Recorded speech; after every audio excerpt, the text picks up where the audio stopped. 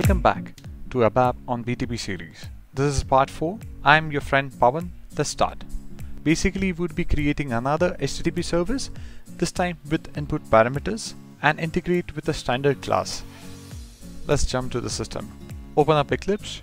You can create a HTTP service by going to File menu or you can just right click on the HTTP service tab and select New. Give a name to a second service, say SAP Second Program on Cloud for instance. Select the local tier that you have created.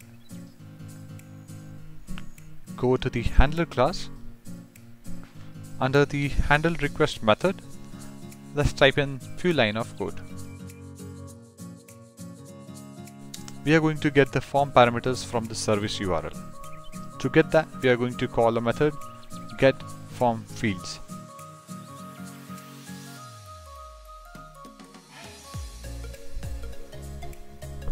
Once the parameters have been captured into the internal table, we are going to read the table into LR para with key input. Remember, input is the parameter name. Oops.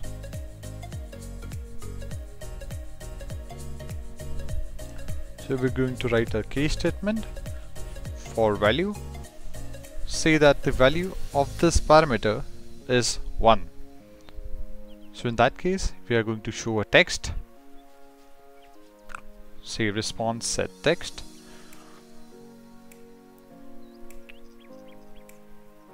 Hello, welcome to Cloud Project. Why not? Because we are doing it. Next, for others, we can type in response set status to 400 and say wrong values passed. It is kind of error handling. There are two parameters you need to set, iCode and iReason. iCode would be 400 status and iReason would be the actual value that would be written, that is wrong value passed.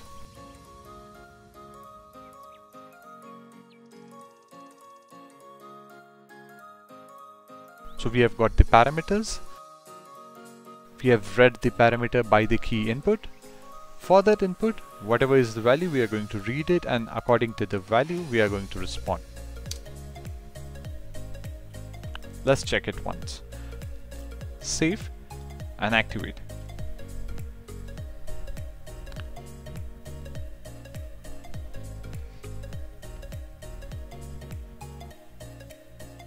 Copy the URL and go to the browser.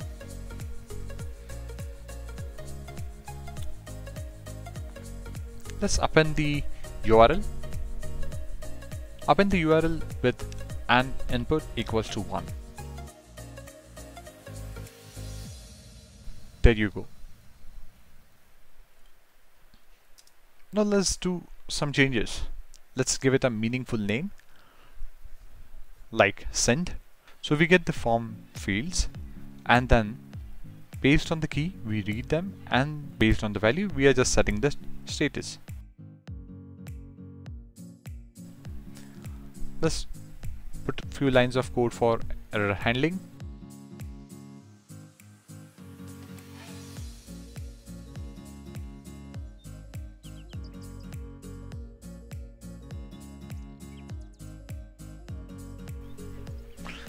Also for example, we'll create another set status. Say that visit abapper.weebly.com.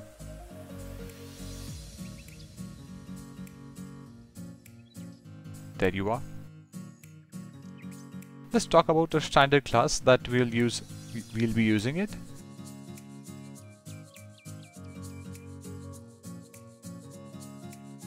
CL ABAP context info. This is a standard class and it has a set of methods. We can use any of these.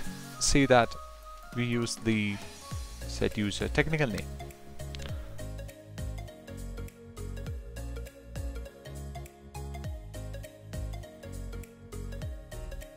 For that we are going to create a new value, say system,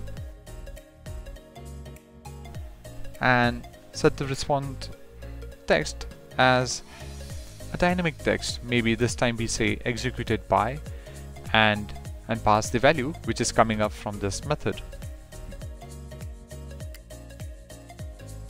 Get user's technical name. What this would do is it would create a string, concatenate it, and then set the text. Activated.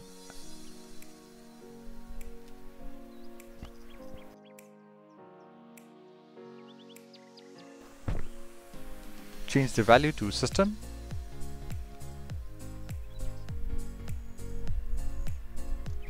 There you go. My user ID is displayed dynamically.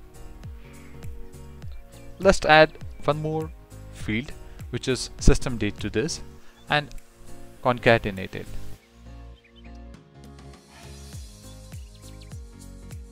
So we'll use another method which is get system date. Yeah. Align it. Let's activate and check. We can refresh as we are already on the same parameter. The date has been displayed. Let's format the date by saying date environment.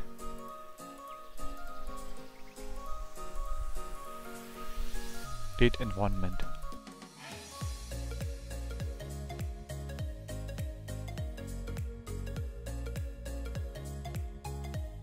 There you go. The date has been formatted. That's it for this part. Last but not least, part 4 is coming up next. Stay tuned and happy learning. Bye.